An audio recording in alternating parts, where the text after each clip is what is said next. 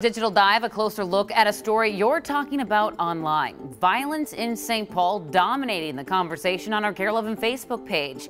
By now, you've probably heard about the three people shot and killed in just nine hours earlier this week.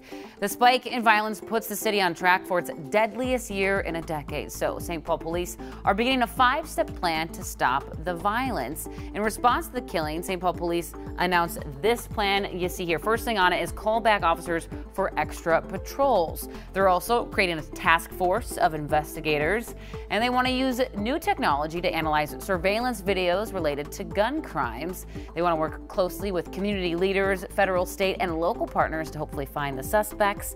And last but not least, they really want to engage with you, the public. So here's what our Sunrisers had to say about their five step program. Julie said they want to take guns off the street, but what's needed more is for the community to speak up and say who's doing these things.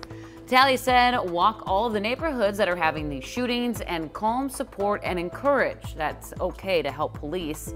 And Andrina said, I hope this changes in St. Paul. At least they're trying to get them off the streets.